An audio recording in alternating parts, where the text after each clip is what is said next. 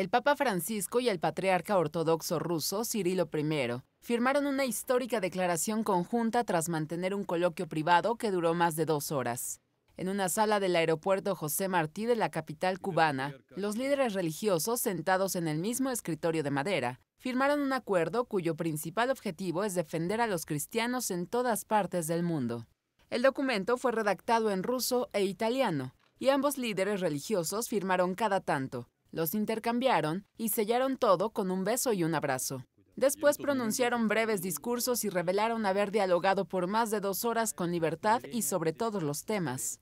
En su discurso, el Papa Francisco agradeció especialmente a Cuba, a su pueblo y al presidente Raúl Castro, que se encontraba a unos metros de distancia, y agregó, si sigue así, Cuba será la capital de la unidad.